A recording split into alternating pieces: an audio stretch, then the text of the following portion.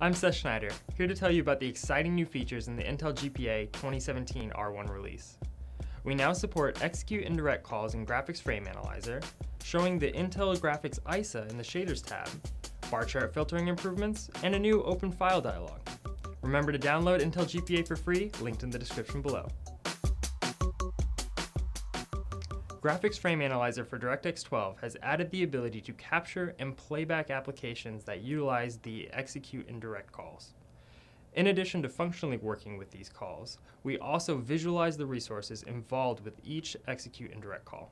Graphics Frame Analyzer now exposes the indirect argument buffer and the command signatures to better understand the selected execute indirect call.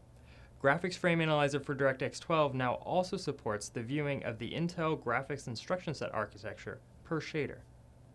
Simply choose a shader resource within the frame and change your shader option from the disassembler or HLSL to the GenISA.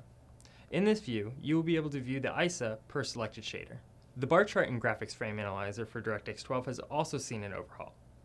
You can now organize the bar chart by groupings and drill into these groupings using the API log. For example, if we select the debug region grouping from the drop-down list, we can then drill down into the regions using the API log. When each tick in the API log is expanded, the bar chart expands accordingly, giving you the performance of each group along the way.